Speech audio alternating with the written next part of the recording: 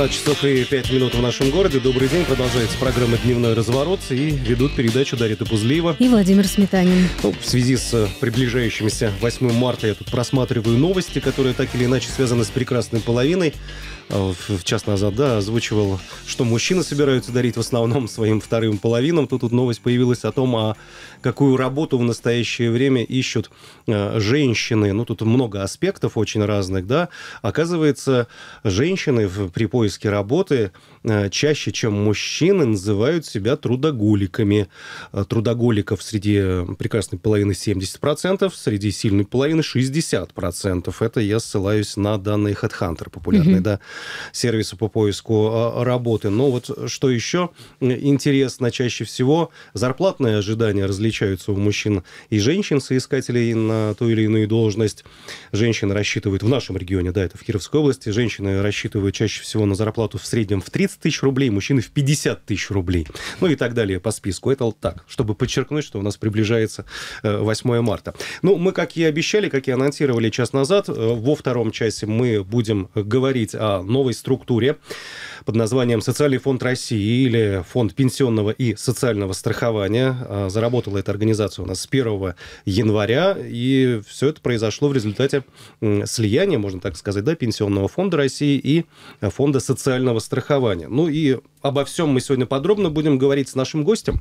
Представим Николай его. Пасынков, угу. управляющий отделением Фонда пенсионного и социального страхования по Кировской области. Николай Владимирович, добрый день. Добрый день. Добрый день. Ну, мы сегодня, мужчины, традиционно начинаем с поздравлений прекрасной половине, да. поэтому такая возможность у вас Значит, сейчас тоже есть, Николай Владимирович. Я действительно хотел бы именно с этого и начинать, угу. потому что вот правильно вы а, отметили, что по данным вот этого сайта угу. женщин-трудоголиков очень э, много, и я могу подтвердить, что в нашей организации именно так и есть. Может быть, даже и больше, чем 70%. Кто-то даже, да, да, даже, наверное, э, гораздо больше, чем 70%, потому что у нас э, более 80% э, сотрудники это, конечно же, представители прекрасного пола, и я хотел бы от имени мужского коллектива. Мы сегодня уже поздравили своих коллег, сделали это креативно, необычно. А, но я хотел бы сегодня поздравить всех, кто сейчас является радиослушателем, с приближением этого замечательного праздника, праздника весны, праздника 8 марта. Ну, кстати, надо отметить, что в Российской Федерации он отмечается уже в сотый раз. И, это э, правда. И Один из самых таких... Преобразование этого праздника, ведь э, было же известно, что как раз женщины стремились к равноправию с мужчинами, именно поэтому и появился этот праздник 8 марта. Он совсем не был связан с чествованием, там, любовью и так далее, он был связан с тем, чтобы добиться э, для женщин тех же самых условий, что и для мужчин. Угу. Чтобы не ну, было вот, такого, вот, что женщины рассчитывают на 30 тысяч, а да, мужчины на 50. Вот именно.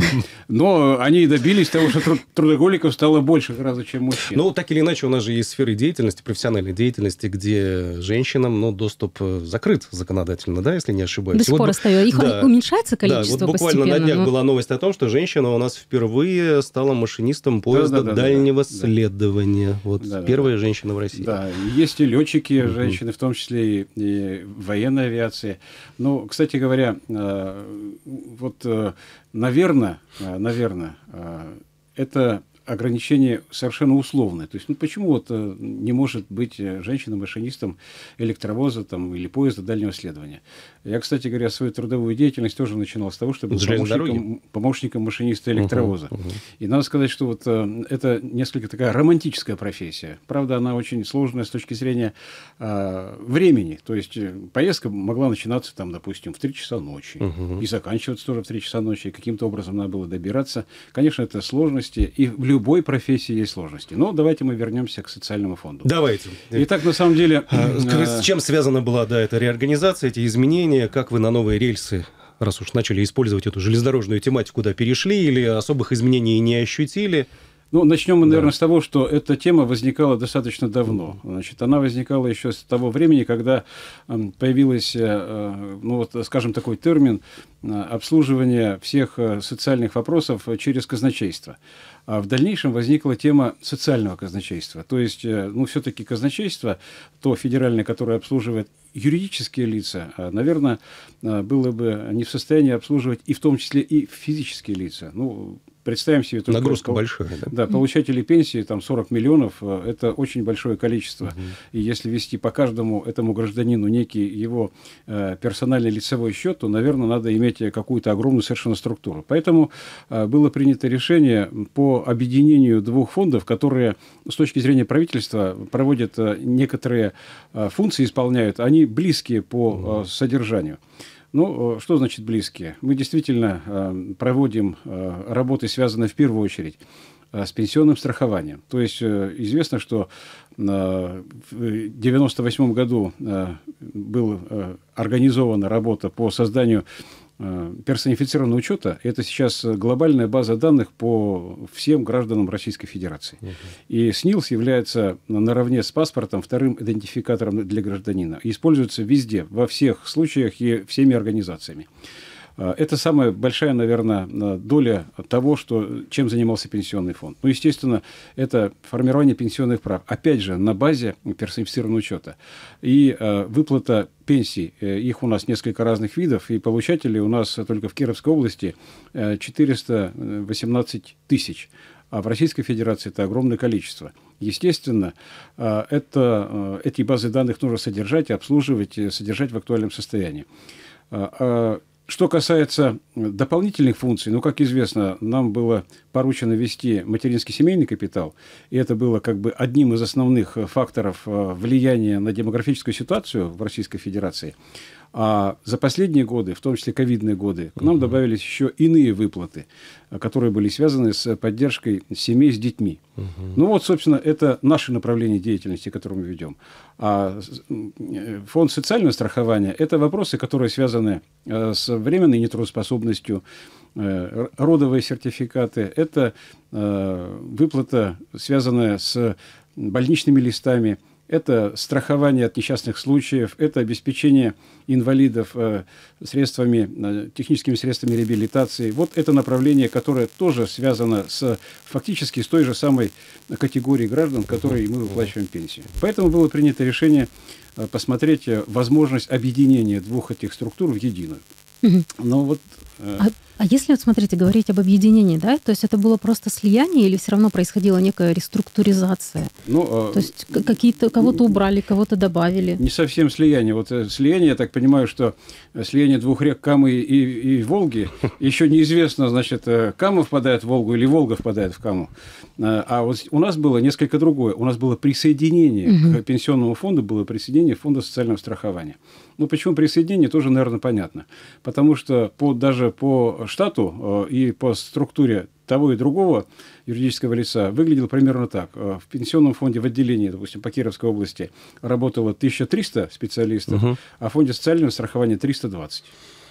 Ну, понятно, что угу. это было присоединение. Угу. Структура, конечно же, несколько изменилась, но фактически серьезного преобразования она не, а, не имела. Почему? Потому что функции-то остались те же, и специалисты фактически в тех э, э, подразделениях, в которых работали, они так и остались работать. А вот Э, изменилось. Допустим, было две бухгалтерии, стало одна. Было два экономических отдела, стал один. Э, было два, две кадровые службы, стала одна. Ну, это организационный вот, момент угу. уже, да, да, традиционно возникающий. Но да. на самом деле угу. это не очень простая задача, поэтому у То нас есть было... не возникло дублирование функций, да, там... Ну, а вот как раз мы при объединении, то есть угу. при создании новой структуры и, и максимально убрали все угу. дублирующие функции. Угу. Конечно, к этому была э, подготовительная работа. Э, вот э, задается вопрос, а как это повлияло на, на граждан, собственно говоря. Задача стояла именно так, чтобы это никак не повлияло, а, а если и повлияло, то улучшило качество обслуживания.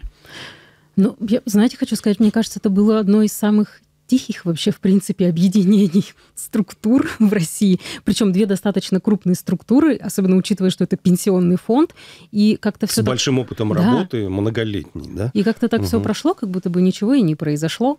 Или, ну, мы, или мы можем не, мы можем не знаем каких-то проблемных там моментов, да и, да и Но, не, нет, незачем я их к тому, знать, что обычно все равно бывает, когда то есть, происходят какие-то такие вот э, вещи, все равно угу. в сети появляются какие-то жалобы, люди не понимают, куда идти, что угу. делать, а как будут теперь ли это работает. дальше там, платить, да, вот в те ли сроки, а в тех Я практически не сталкивалась далее. с какими-то там вот жалобами, комментариями, где-то еще что-то. Возможно, Ну, давайте Вы я в работе постараюсь столкнулись? прокомментировать. Мгм. Значит, э, ну, на самом деле, э, если есть э, какой-то позитивный результат каких-то серьезных действий, это говорит о том, что была проведена очень серьезная работа. Ну, во-первых, это было объединение не в течение одного дня, одного недели, одно, одного месяца, а в течение, велась подготовка в течение фактически, ну, почти что года. Мгм. 9 месяцев примерно у нас было на то, чтобы на, провести это объединение. Естественно, была подготовлена дорожная карта, где было детальнейшим образом прописано каждое действие, причем они были увязаны одно с другим, то есть э, каждое завершение одного действия предполагало начало другого и так далее. То есть это все было прописано абсолютно от и до. А В течение нескольких месяцев мы проводили работу по смежным нашим направлениям деятельности, чтобы, во-первых, э, уладить структуру, э, понять нагрузку на специалистов и понять возможность взаимодействия между этими структурными подразделениями для выполнения своих задач. Вот именно поэтому, очевидно, каких-либо серьезных э, значит, таких негативных моментов у нас и, и не возникло.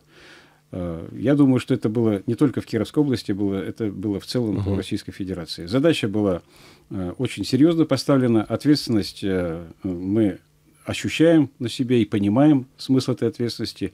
Э, Заключается она в том, что фактически сейчас эта структура ну, является одной, наверное, из основных э, в вопросе социальной стабильности в государстве. Что касается контакт- контактов непосредственно с гражданами, да, способов и путей их обращения в социальный фонд, все это сохранилось на прежних позициях. Да, более все, того, что да, было. значит, вот изначально мы начали работать по поводу оценки вот этого материального обеспечения, то есть где, собственно говоря, можно организовать работу так, чтобы она была качественна и э, каких-то дополнительных сложностей не возникало Мгм. у граждан. Мы все это проанализировали, и фактически у нас э, весь прием сейчас в клиентских службах, так у нас называются те офисы, которые находятся в районах, они остались там, где находился пенсионный фонд. Значит, ну, во-первых, потому что у нас там была структура не один-два человека, как, э, допустим, в фонде социального страхования, а у нас там были везде э, клиентские службы либо отделы. То есть э, это были помещения, в которых можно разместить дополнительно один-два человека. И плюс вот эти специалисты стали вести прием в рамках тех требований, которые предъявляются к пенсионному фонду. То есть стандарты стали для оказания всех услуг одинаковы. А вот сколько услуг? Вот это даже, наверное, трудно себе представить, э, что пенсионный фонд оказывал 43 государственных услуги. Я не говорю даже о подуслугах, которые там в некоторых услугах по- даже до 10 Мгм. доходят. да? Разветвление там идет. Да. Мгм. А, а- а- а- а, фонд социального страхования оказывал 17 услуг. То есть вот вместе у нас получается ну, почти что 60. Да?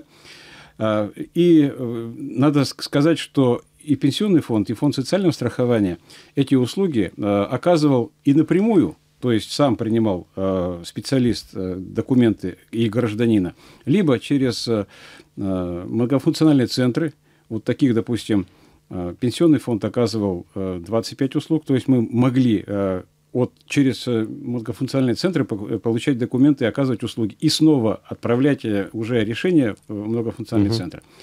А значит, э, фонд социального страхования 6 услуг, но, э, конечно же, самая главная задача – это максимально перевести все услуги в электронный вид, чтобы гражданин не тратил вообще время искать, куда идти, что нужно туда э, принести, а чтобы он мог зайти на портал госуслуг, перейти на, собственно, тот сайт, э, который, э, значит, на котором раз- э, размещены все те услуги, которые пенсионный фонд и фонд социального страхования, а сейчас это у нас как раз фонд, соц- со- социальный фонд Российской Федерации, Мгм. есть такой сайт, и, зайдя на эту услугу, максимально просто оформить необходимое заявление и, собственно говоря, получить эту услугу. Вот у нас все больше граждан действительно обращаются именно через портал государственных услуг. А есть э, цель какая-то, да, конкретная? Там 90% обращателей должны через А, госуслуги Цель полностью, делать? да, в есть, digital цель есть, э, цель есть, да. конечно, есть.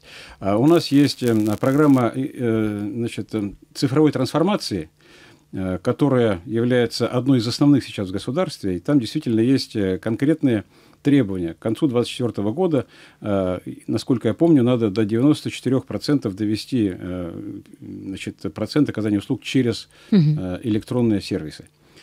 Ну вот мы, собственно, к этому и стремимся. У нас, естественно, на каждый год и на каждый квартал есть определенные, э, определенные проценты, которые мы должны выполнить. Да, это очень серьезная работа, но хочу отметить, что она требует э, как бы взаимности не только организация должна уметь это оказывать услуги, но и население должно а, ну, уметь... Ну, э, конечно, от многих факторов да. зависит. И тут и труднодоступные отдаленные районы, где да, проблемы да. с выходом в интернет, с доступностью связи. Да, вот именно поэтому у нас клиентские службы угу. и остались во всех районах, и они продолжают в том числе работать с теми гражданами, ну, у кого элементарно нет смартфона, к примеру. Угу. Да, он не может выйти значит, через портал. Ну, обычно это люди пожилые. Да, да. да совершенно да, правильно. У них возникают ну, такие сложности. А, страхователи, как на них э, сказалось это слияние, вернее, присоединение, да, э, фонда социального страхования к пенсионному фонду у нас же есть график, был, пока был да, ранее, да, график обязательных взносов, осуществления. Тут какая-то реорганизация произошла ли, стало ли проще?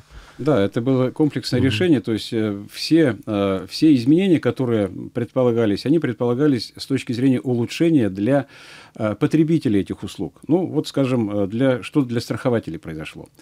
Ну, во-первых, для страхователя упростилась система вообще начисления страховых взносов. Теперь это будет единый тариф, то есть э, страхователь будет не в разные фонды уплачивать там и начислять по каждой категории какие-то свои тарифы, рассчитывать и потом думать, правильно он или нет сделал, а начислять единый тариф, а дальше уже при поступлении средств в федеральное казначейство, федеральное казначейство будет распределять по соответствующим э, статьям расходов, угу. которые угу. эти средства будут использованы. А поэтому для страхователя, я так понимаю, что это абсолютно, а, абсолютно позитивное решение. А плюс к тому, ведь кроме платежей есть еще, то есть платежи – это финансовые потоки, а есть информационные потоки. После того, как они оплатили эти страховые взносы, они должны еще представить отчетность. И вот у нас мы переходим с 1 января на единую форму отчетности. Она объединяет в себе пять разных отчетов, которые раньше представлял страхователь. Ну, естественно, единая форма отчетности, она не очень простая, но в том-то и дело, что она единая а не пять разных отчетов. Раз сделал и да, все. Раз сделал и все. Да. Я думаю, что это постепенно войдет в нормальную такую колею, и все страхователи э, научатся правильно заполнять э, эту отчетность, и э, это тоже будет вторым позитивным моментом. А, что касается... а по срокам? Да. Я перебью, прошу да. прощения, отчетность это тоже можно онлайн заполнить, или это все конечно, же... Конечно, конечно. У нас практически 90% всех страхователей сдают отчетность в электронном виде. И даже законодательно они обязаны сдавать эту отчетность, если там а, не, если более 10, э, если более 10 застрахованных лиц у этого страхователя есть, он обязан сдавать в электронном виде. Вот э, этот закон на самом деле очень помог для того, чтобы перейти от бумажных к электронным угу. технологиям. А по срокам напомните? Да, по срокам у нас и будет ежемесячная отчетность у нас будет э, по бюджетной сфере, и ежеквартальная будет вот этой, этой единой формы отчетности. Угу. А раньше было не так. Раньше, допустим, ну, нужно было ежемесячно представлять форму о, э, о тех, кто работает и не работает, так называемый СЗВМ. На основании ее мы уже принимали решение об индексации пенсии, работающим или не работающим. А сейчас это все будет э, за счет анализа той электронной трудовой книжки, которая ведется сейчас в отношении каждого. Ну да, этот документ тоже у нас, да, да. оцифрован. Поэтому да. вот угу. этот, это второй плюс. Значит, дополнительно еще, что произошло, вот так как единый тариф был введен, те категории, которые у нас э, ранее были э, ну, не, на, не по основному месту работы, а, скажем, по э, гражданско-правовому договору, за них не уплачивались страховые взносы, они не имели права на определенные социальные гарантии. С введением вот этого единого uh значит, тарифа и единой отчетности в правах они все уравнялись. То есть они будут получать те же самые Э, социальные гарантии, которые получали и э, работники, которые по трудовому договору работают у страхователя. Как, есть... как мы их в обычной этой жизни называем? Э, не без оформления работающие? Нет, что, нет, как? нет, нет. Это гражданско-правовое, это значит, у него есть договор на выполнение каких-то работ. А. То есть это вот временно человек угу. пришел. То есть он не в штате, не в постоянном он не в штате, да, да, не в штате. Да. Угу. Ну и там, значит, также изменения произошли и для Э, частных э, предпринимателей. Если они регистрируются, если они начинают уплачивать страховые взносы, то они точно так же получают эти социальные гарантии, которые получают и застрахованные граждане, которые работают э, по основному месту работы на предприятии. Угу, угу. То есть вот эти изменения для страхователей, они существенны. Причем, значит, этот единый тариф еще позволил увеличить выплаты, связанные с временной нетрудоспособностью. То есть там вот есть конкретные цифры, которые можно оценить по разным видам выплат как действительно весьма позитивные. Там примерно на 15-20% эти выплаты э, просто вырастут. Угу, угу. У нас остается 5 минут до небольшой рекламной паузы. Я напоминаю, что мы беседуем с Николаем Пасынковым, управляющим отделением Фонда пенсионного и социального страхования по Кировской области, или попросту это социальный э, фонд России. И э, вот время возникновения да, новой структуры социального фонда совпало с временем появления единого пособия, так называемого, да, тоже у нас это произошло с 1 января 2023 года. К, к огромному вот. списку пособий добавилось пособие со словом «единое». И самое, что интересное, вот, казалось бы, единое пособие угу. должно снимать вопросы, но мне кажется, столько вопросов, сколько было по единому пособию, ни у кого не возникало, потому что очень э, изначально, когда появилась да, информация об этом едином пособии, почему-то ничего более нигде никакие официальные органы э, не дали. Ну, то есть просто пособие есть. Вы, выдали пресс-релизы uh-huh. о том, что будет единое пособие. Uh-huh. Что, кому, за что. Э, от того нужно отказаться. И, в общем, сеть, да, если, если почитать там да. какие-то вот эти вот женские группы да. кировские, еще что-то, там просто тысячи этих комментариев были. Ну, что это? Да-да-да, мамочек там в первую очередь интересовало пособие от 3 до 7 лет, от 8 до 17 лет, и вот э, такие дискуссионные такие площадки достаточно накалены так были, да. С чем вы столкнулись? Ну, боюсь, да. за, за 5 минут, а сейчас уже, наверное, 4 осталось. Ничего, а ничего, мы не, не сможем. Мы перейдем. перетечем уже, да, во ну, вторую начнем, половину программы. Давайте вот с чего. Угу. Дело в том, что вот те пособия, которые объединило вот это единое пособие, да, это пять разных пособий. Э, вначале хотели объединить шесть, угу. но одно из них э, все-таки из бюджета не федерального уровня, а из бюджета местного, местного поэтому, угу. поэтому оно осталось за соцзащитой. Они, во-первых, были введены в разное время, э, разная нормативная база была и да. разные условия их назначения. Значит, поэтому вопросов было и раньше достаточно много, но здесь, на мой взгляд, в чем была суть этих вопросов? Потому что с 1 января ввести для всех одинаковые условия было невозможно. Почему? Потому что эти категории, ну, которые ранее подавали заявление, к примеру, одна мамочка подавала заявление в марте, другая в июне, третья, значит, в декабре. И, я и бы, срок разный. Да, был, и срок разный. Я называю их транзитные угу. группы, да. Угу. У каждого свои особенности. Значит, главное правило было введения этого единого пособия, что если при назначении этого пособия условия прежних выплат останутся более выгодными, то лучше оставить прежние и дождаться, когда они закончатся. Угу. То есть больше получить. Да, да больше получить. Угу. И э, вот у мамочек и возникал вопрос, надо ли мне сейчас написать заявление, или надо написать потом заявление, или э, на, на сколько детей надо написать заявление, потому что там разные совершенно угу, категории, -то, начиная от беременных женщин, которые встали на учет, кончая, значит, 18 э, годам. Э, детей. И поэтому вот эти все условия, они были совершенно разные. Поэтому мы действительно столкнулись с огромным количеством вопросов.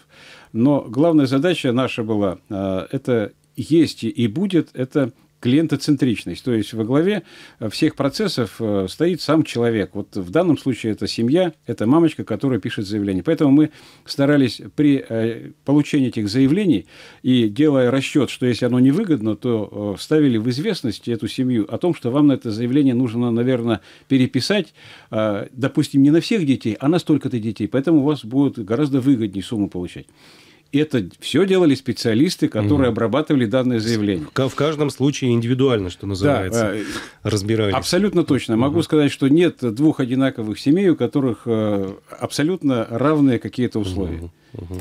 Минутку у нас остается. Э, мне каждый, каждый раз, вот, когда вводят какие-то новые пособия, мне с каждым разом кажется все более э, привлекательной идея безусловного дохода, да?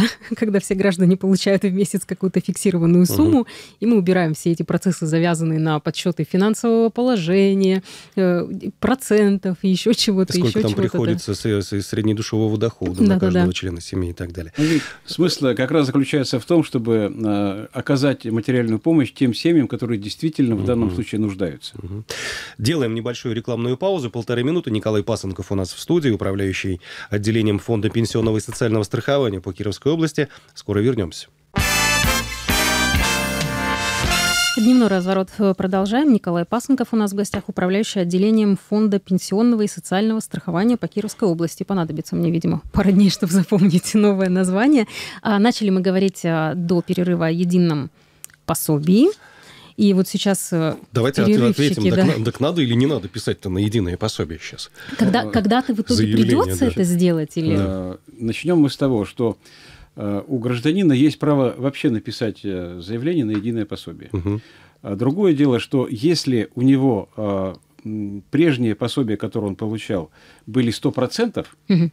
То смысла писать заявление на новое пособие не нужно. То есть больше выше сумма, этой планки да, уже не да, прыгнешь, выше этой называется. планки не будет. Угу. А если у него было не 100%, э, то, э, конечно, заявление написать нужно, но э, прежде нужно проанализировать, а что произошло с того момента, как этот гражданин или эта семья получила право на получение мер социальной поддержки. Ну, вот для примера могу сказать, что если существенно увеличилась заработная плата, наверное, нет смысла писать заявление – потому что вообще Потому что может быть отказ. это основной фактор, да, собственно, но, для но, расчета. Но, но угу. прямо скажу, что если мы увидим, что э, семья получает отказ, мы э, заявление это рассматривать не будем. И э, проинформируем эту семью о том, что э, им выгодно получать до окончания угу. действия э, прежнего решения, а решение это действует один год с момента назначения. назначения. Ну, вот это то, важно, есть в органы, да? то есть в органы соцобслуживания вы сообщать не будете про эту То есть ну, никто а... семье резко пособие да. не Нет, отменит? Скажет, Орган, органы новые... соцобслуживания сейчас никакого отношения к этим пособиям не имеют. Угу. Значит, они все переданы, все эти получатели, они переданы нам, и мы теперь с 1 а, января ну, выплачиваем да, эти да. суммы. Угу. За исключением а, одного пособия, которое осталось из бюджета Кировской области. Кировской области. Угу, угу. А, далее, если произошли какие-то существенные изменения в материальном обеспечении, ну, условно говоря, а, если появилась новая квартира, новая машина и так далее, то есть э, действительно нужно это учитывать. Почему? Потому что кроме самого закона, который определяет, что такое единое э, социальное пособие, есть еще и, и правила назначения и выплаты uh-huh, этих uh-huh. социальных пособий. И там есть огромное количество, ну не огромное, большое количество ограничений, которые в том числе рассматриваются при э, получении этого заявления. Ну вот э, в первую очередь это имущественное положение. Ну, вернее, в первую очередь угу. это доходы. Доходы, да. Мы получаем информацию, то есть вот хочу обратить внимание, что гражданин пишет только один раз заявление, и все. Мы, получая заявление, автоматически отправляем в разные, э, в разные службы, отправляем э, запросы угу. на предмет получения информации конкретно об этой семье. Если заявление написано корректно, что значит корректно? Указаны все члены семьи и указаны все те виды доходов, о которых идет речь, угу. то в таком случае мы делаем запросы в эти все организации и получаем подтверждение, либо не получаем подтверждение. И на основании вот этого уже э, комплекса полученных ответов на запросы и делается вывод о материальном обеспечении данной конкретной семьи. Э, и надо сказать, что э, чаще всего отказы, вот если мы сейчас посмотрим, какое количество заявлений мы получили на единое пособие, это уже больше 40 тысяч. 40 тысяч, там 180. Так, начиная вот с, с 1 января, С 1 да? января, да. Угу. И если вот про 1 января сказать, то в 1 января нам поступило порядка 5,5 тысяч за один 1 день. января прям? Ну, ну Новый год наступил, да. люди Новый начали... Год. Новый, 1 января новая и, жизнь, и, поэтому пособия. надо сказать, что наши специалисты систему. фактически все угу. праздники новогодние угу. занимались обработкой данных заявлений. Ну, есть ведь сведения о том, что люди ведь и зачастую как-то пытаются спорить и выяснять, а почему у меня там вот доход учтен, его вроде как и не было, там в интернете полно таких историй. Нет, ну, далее, естественно, да. к нам обращаются по этому поводу, мы да. перепроверяем проверяем, угу. даем э, ответы.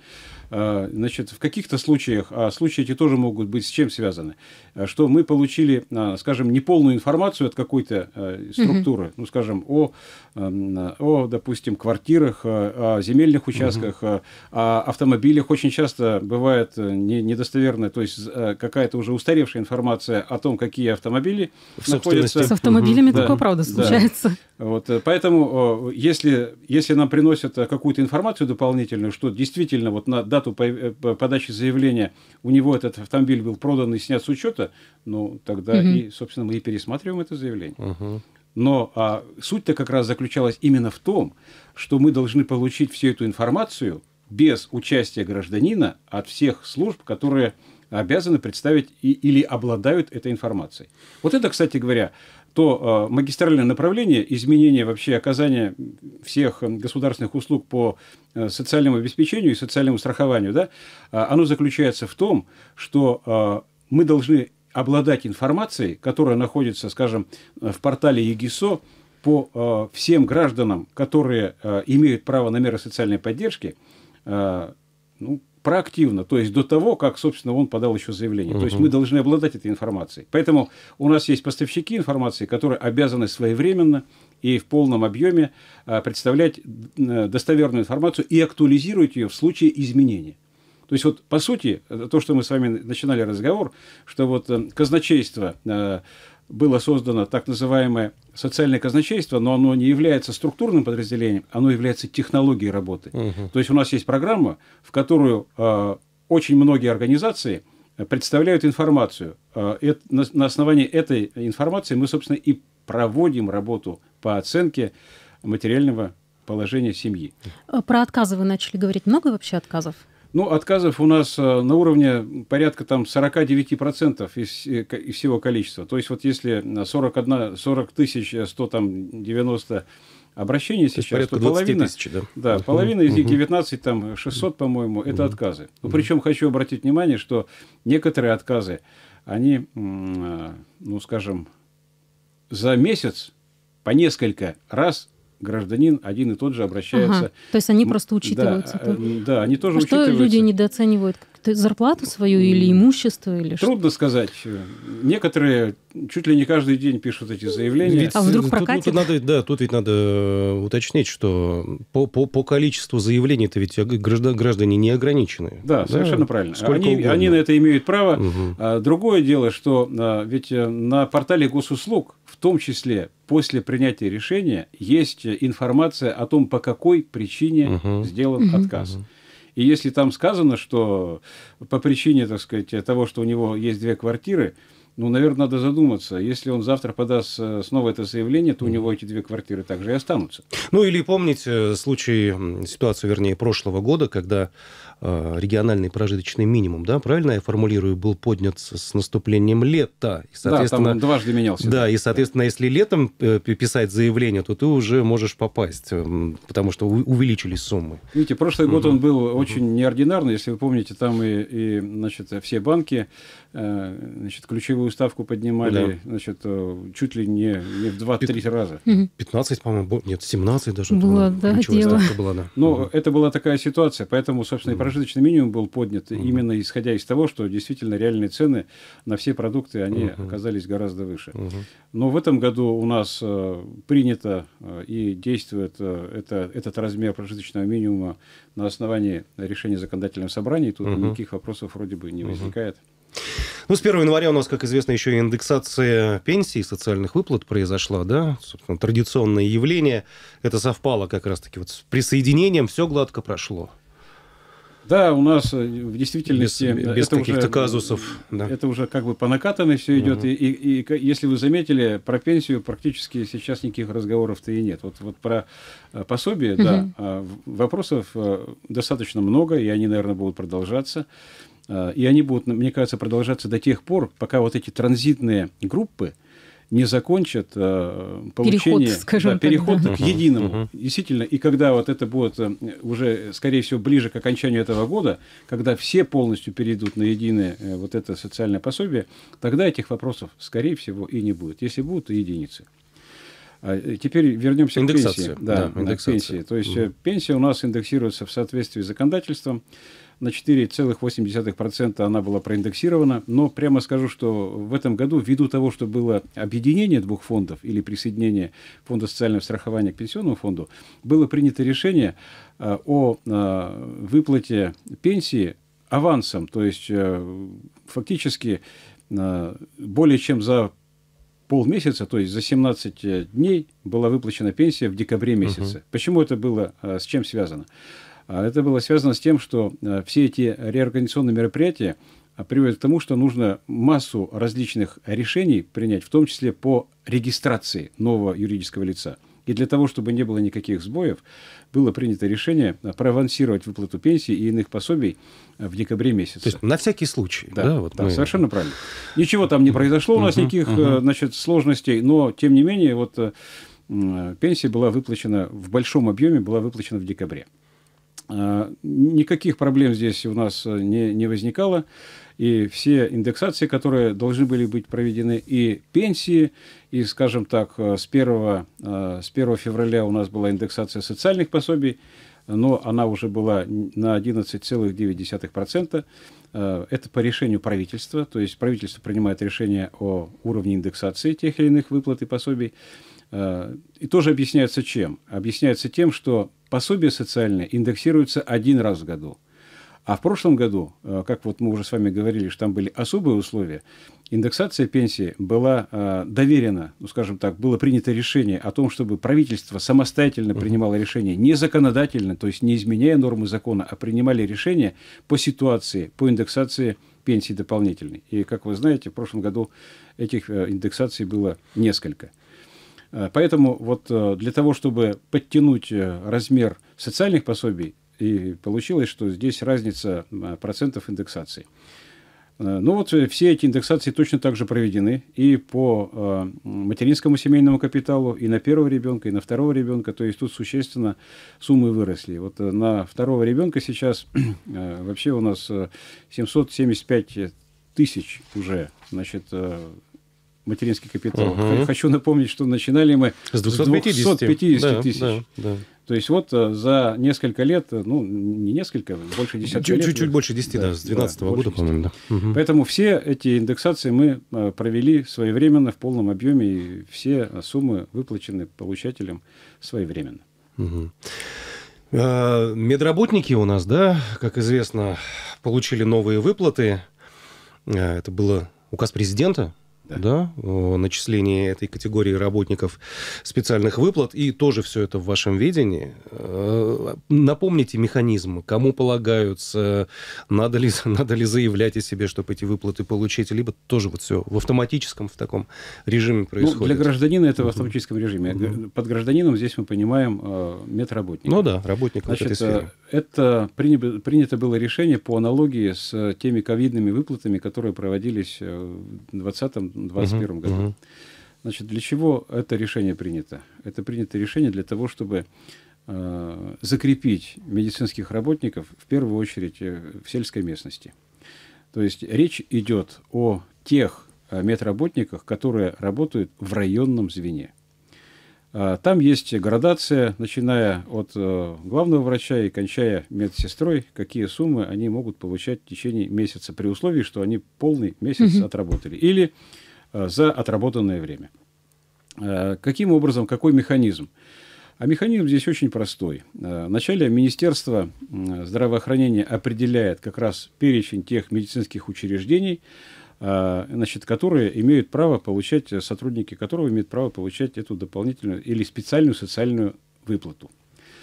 Далее медицинские учреждения Э, вместе с Министерством здравоохранения региональным готовят реестры э, на конкретных вот этих э, медицинских работников и представляют их для проверки. Значит, проходит проверка, и после этого по данным реестрам проводится выплата уже Социальный фонд Российской Федерации делает выплаты в отношении этих работников.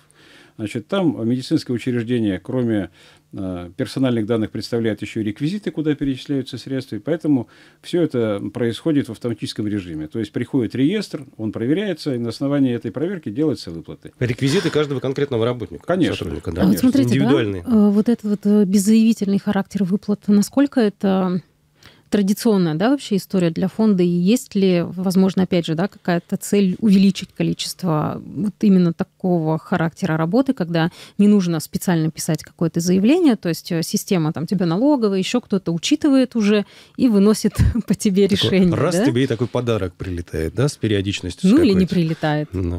Ну, такие случаи бывают. К нам, к нам, допустим, через социальные сети пишут, «А мне поступило 13 900, э, там, сколько там, 64 рубля. Что это такое? Ну, так вот это, читайте, да, наверняка это, ведь написали, это как раз вот и есть обосновали, это сумма это прожиточного минимума да, да, да. на гражданина в Кировской угу, области. Угу. Значит, э, что могу сказать по, по поводу вашего вопроса? Дело в том, что социальный фонд, э, как и ранее пенсионный фонд и фонд социального страхования, не принимает самостоятельное решение, как и кому выплачивать и в каком виде, значит, и технологию выплаты. Как я уже сказал, для того, чтобы получить ту или иную выплату, мы вначале имеем нормативный документ в виде э, федерального закона и имеем некий порядок или правила организации выплаты, в которых все абсолютно нам прописано. Нам э, наша задача точно выполнить то, что написано в этих документах. Поэтому э, решение принимает, как вы понимаете, правительство, и оно определяет весь порядок, как и кому и в каком виде надо выплачивать. Поэтому э, мы э, стараемся... Но для работы это было бы удобнее или вам технически без разницы? Вы знаете, я уже назвал такую фразу клиентоцентричность. Для нас удобнее то, что, что удобнее да? клиенту. Угу. И это главная задача. То есть мы должны подстроиться под э, те э, условия и те желания, которые есть у получателей конкретных. Вот наша задача. Угу, угу. Кстати, да, если продолжать про работу непосредственно с э, клиентами, с людьми, которые к вам обращаются, может быть, а, о планах о дальнейших тут еще стоит упомянуть. Вот как еще сделать ближе, да, чтобы проще было и обратиться людям, Вообще явление такое, как очереди, оно, наверное, давно уже исчезло в пенсионном фонде, вернее, в бывшем уже пенсионном фонде. Ну вот сегодня, к примеру, да. у нас была такая акция, мы уже с ней, э, по, по ней с вами uh-huh. говорили. А, это а, мы вручали такие бумажные цветы, э, которые... И вы их сюда нам принесли тоже Информационные подарили, да? тюльпаны, да. так называемые, угу. да? И я посмотрел, какая там была очередь, там вообще никакой бы очереди не было. Там вообще фактически не было посетителей. Угу. А мы-то предполагали, что перед 8 марта их будет много, и поэтому, ну, все-таки все вручили. Учитывая то, что выходной день, люди, возможно, пойдут, да, да. решить какие-то да, свои да, задачи. Да. Угу. Это говорит о том, что э, в большинстве случаев все вопросы, связанные с конкретным временем приема, у нас уже решены. Каким образом? Ну, первое. Значит, мы э, ведем уже достаточно давно э, так называемое дистанционное обслуживание. То есть есть единый номер нашего регионального контакт-центра, по которому можно получить любую информацию. Но сразу же скажу, каким образом можно получить, в том числе персональные данные. У нас есть э, так называемое кодовое слово, э, или, скажем, такой пароль. И это как одна из услуг реализована через портал госуслуг. То есть, если человек обращается, и он ну, точно так же, как пин-код, допустим, угу. себе ставит. Ну, да? Ну, то есть информация, которая, да, информация, известна, которая известна только ему. И если он, он угу. обращается по какой-то теме, которая касается его персональных данных, и называет это кодовое слово, то мы имеем право на основании действующего законодательства предоставить ему информацию по этому телефону из любой базы данных. Вот этот региональный контакт-центр подсоединен ко всем базам данных, в которых есть информация э, любая, которая интересует наших клиентов. За счет этого мы сняли э, количество, достаточно большое количество посетителей, которые просто приходили получить эту информацию, вот придя э, в офис. Первое. Второе. Значит, э, задача э, связана с, э, с тем, чтобы мы заблаговременно проводили работу по различным видам оказания услуг. Ну, вот начнем с пенсии. С этого года, вернее, с прошлого года, начали информировать женщин в 40 лет и мужчин в 45 о том размере пенсии, которые они бы получили, если бы выходили женщина в 40 лет, а мужчина в 45. Угу. И это многих, э, скажем так, сильно Только хотела сказать, то есть вы вот это решили с, к 40 годам людям настроение испортить, да? Нет, мы к 40 годам решили, э, значит, некий, э, некую инъекцию мотивации дать. То есть вот они увидели, какой размер пенсии, они знают, какой размер пенсии сейчас получают пенсионеры. И у этого гражданина еще остается 20 лет для того, чтобы поправить эту ситуацию, если она ну, скажем, не совсем его устраивает. Потрудиться активно. Потрудиться, да. Угу, хорошо. А, так вот, а, это, этот мотиватор очень важный, и он а, на самом деле дает заранее, заблаговременно а, информацию о том, какой может быть размер пенсии. А вот дальше что получается? А дальше накануне э, э, как бы достижения пенсионного возраста мы приглашаем всех граждан за два года, сейчас уже начали приглашать, для того, чтобы полностью проанализировать пенсионные права, которые он заработал.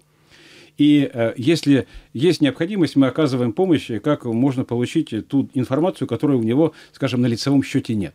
Вот э, яркий пример это было за последнее время, это включение, э, включение стажа э, службы в армии для мужчин. Угу. То есть полностью все сейчас э, мужчины в Кировской области, которые достигают пенсионного возраста, у них все учтены э, эти права. Раньше этого не было. А, вот что значит заблаговременная работа? То есть мы провели ее, если гражданин видит, что все абсолютно права у него учтены, он нам пишет заявление, что он э, согласен с тем, чтобы э, при достижении пенсионного возраста он не приходил с заявлением, а мы автоматически ему назначили. Угу. То есть вот э, это и есть в том числе та форма работы, которая снимает количество посетителей у нас в офисе. Угу. Такую же работу мы проводим по назначению пенсии инвалидам. Вот сейчас есть государственные информационные ресурсы, Э, которые ведут информацию по всем инвалидам. Если мы видим, что вот вчера, к примеру, принято решение о назначении такому-то гражданину такой-то степени инвалидности, завтра он уже э, получает пенсию. Ну, не получает, а ему уже назначена пенсия угу. на основании этих данных. Ему не нужно идти с какой-то справкой и говорить, что вот он был там-то, и у него такая-то группа инвалидности. Либо он надбавку получает, да. если уже там пенсионером является. Либо, да? значит, угу. вот э, гражданин достигает 80-летнего возраста. Как известно, там Э, двойная э, выплата, фиксированные выплаты бывает, да? Раньше для этого нужно было действительно прийти и, и показать документы. Угу. Сейчас мы это делаем в автоматическом режиме. Угу. Да что там говорить, все, э, все перерасчеты пенсии у нас, все индексации пенсии проходят в автоматическом режиме без всяких заявлений. Поэтому вот мы постепенно но постепенно, я бы сказал, достаточно быстрыми темпами идем к тому, чтобы большинство наших действий происходили в беззаявительном порядке, без, собственно, участия гражданина, на основании тех данных, которые есть в различных информационных источниках. А, кстати, вот у самозанятых идет трудовой стаж? Страховой-то, понятно, не идет, наверное, если они ничего не отчисляют, а, а трудовой? Ну вот я говорил вначале, что те, кто зарегистрировался сейчас, кто вот зарегистрируется, да, и кто будет э, какую-то там э, небольшую сумму уплачивать, у них этот стаж будет идти. Э, и тогда он будет иметь право на социальные гарантии. Если он этого не сделает, то, естественно, никаких отчислений угу. нет. То есть ведь за счет чего назначается пенсия? За счет тех отчислений, которые делаются в для выплаты В процессе пенсии, трудовой да, деятельности, да. да. А если их нет, э, ну, извиняюсь. Ну, то есть, а если человек, например, ну, в силу каких-то физических да, особенностей не а мог вот для всю жизнь у нас работать, есть, он у нас не есть получает другие, пенсию? другие формы выплаты пенсии и содержания. У нас есть, допустим, э, если человек не может работать, есть пенсия по инвалидности. Если у него нет э, необходимого стажа для, для получения страховой пенсии, он может получить социальную. Но социальная пенсия назначается плюс 5 лет к пенсионному возрасту. Угу. А если, ну, бывает такое, ну, сейчас, наверное, не часто, но тем не менее, вот женщина, например, не работала всю жизнь, детьми там занималась, да, условно говоря, уж, раз уж мы тут в преддверии 8 марта говорим, там с пенсией как, как дела обстоят? Ну, кстати да? говоря, значит, э, уход за детьми, он включается в стаж. Точно так же, как уход за пожилыми людьми, угу. это тоже включается в стаж и учитывается в определенном количестве индивидуальных пенсионных коэффициентов. И могу сказать, что, э, допустим, уход, э, если у женщины трое и более детей в семье, то э, пенсионные права она заработает э, выше, чем заработает работающий гражданин при получении средней заработной платы э, у нас в области. Это мы расчетным путем мы угу. это сделали такой вывод. Ну, как интересно. Поэтому уход за детьми и сейчас и вообще демографическая ситуация ага. и все вот те выплаты, о которых мы сегодня с вами да, говорили, да, да. это в том числе возможность для семьи воспитать детей и в том числе это возможность формировать свои пенсионные ага. права. Полторы минуты у нас остается. Знаете, Николай Владимирович, хочу еще спросить про мат-капитал. Как-то мы быстро его просто перескочили. Да, индексируется тут сумма материнского капитала у нас регулярная, и тут уже приличная да, цифра получается в этом году ранее, когда мы с вами встречались в нашей студии, вы говорили, что у нас в области есть традиционно вот процент, да, маленький такой, но вот те, кто не обращается за мат-капиталом, право на него имеют, но не обращаются. Таких меньше становится в последнее время, там, в связи с тем, что ну, и суммы растут. Да, их меньше становится, угу. в том числе за счет того, что сейчас появилась возможность за счет мат-капитала получать ежемесячные выплаты. Угу. И те, кто, а, ну, скажем, не нуждается в улучшении жилищных условий, к примеру, и дети пока значит, не учатся, допустим, uh-huh. в учебных заведениях, они, в принципе, могут получать ежемесячную выплату. То есть точно так же пишут заявление и, и получают эту выплату. Поэтому а, сумма-то у них капитала есть, но она используется. Uh-huh. То есть она не лежит мертвым грузом, она используется, ну, скажем, в другом виде. Uh-huh. На этом будем завершать да, нашу сегодняшнюю беседу. Смотрю на часы. Николай Пасынков, управляющий отделением Фонда пенсионного и социального страхования по Кировской области, наш гость. Еще раз напоминаем, что накануне 8 марта мы поздравляем прекрасную половину да, с этим праздником весны. Несколько слов еще есть возможность, если есть желание. Да, да, я хотел бы действительно еще раз обратиться ко всем нашим милым дамам, кировчанкам, Э, с поздравлением с праздником. Э, естественно, мы выполняем ту функцию, которая э, возложена на нас правительством, и надеемся, что выполняем ее качественно, ждем ваших заявлений. Мы По тем или готовы вопросам. выплатить да. вам те суммы, которые вам положены, и обеспечить возможность воспитания ваших детей – Э, в тех условиях, которые нам предлагает сегодняшнее правительство и президент Российской Федерации. Николай Пасынков, управляющий Спасибо. отделением Фонда пенсионного и социального страхования по Кировской области, Владимир Сметанин, Дарья Тапузлиева. Прощаемся.